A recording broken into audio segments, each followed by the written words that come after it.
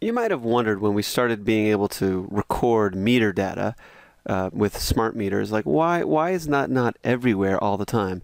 Well, th there's a couple problems, and we'll be talking about that with the flow of meter usage data in OSIsoft's AMI solution, getting zeros and ones from point A to point B.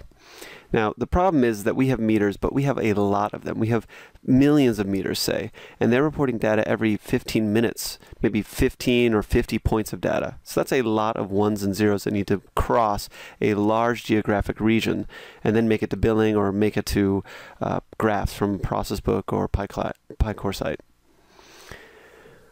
Now, in this video, we won't be talking about billing much, so we'll just erase that part.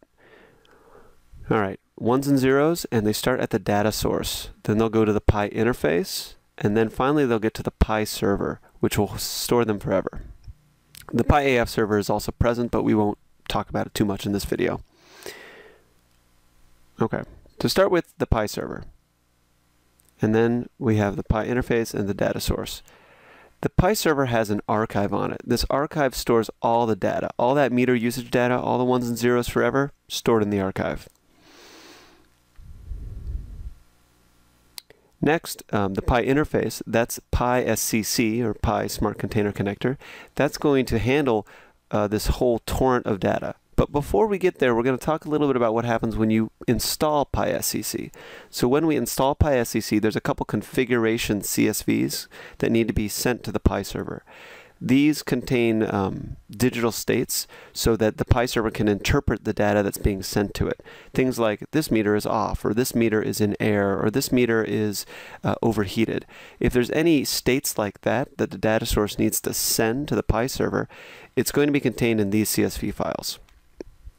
So upon installation of PI SCC, these are going to be imported to the Pi server.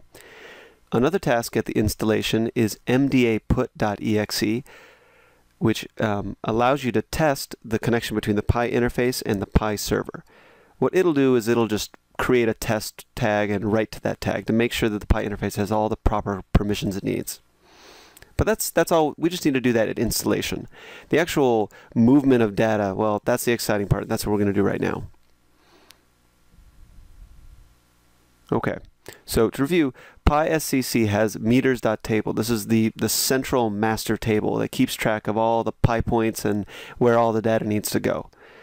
So next to that, there are a few DLLs that contain some functions that are necessary for PI SCC to do what it needs to do. The first of these are osisoft.pi.data and osisoft.pi.net.dll. That's how Pi sends its data at a very high rate. Then there's osisoft.pi.configuration.dll.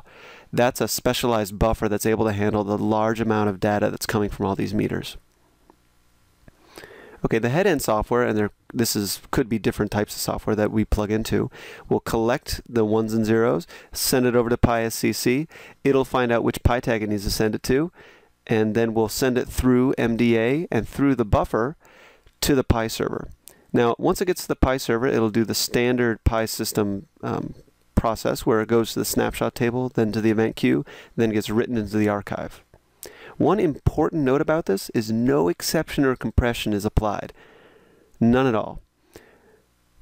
This makes sure that every meter data point has a point every time we configured a meter read. And we always know if we had missing data, for instance. Okay. And then the last step is this data is made available to graphs through PI ProcessBook or PI Coresight or to billing through the Enterprise Gateway.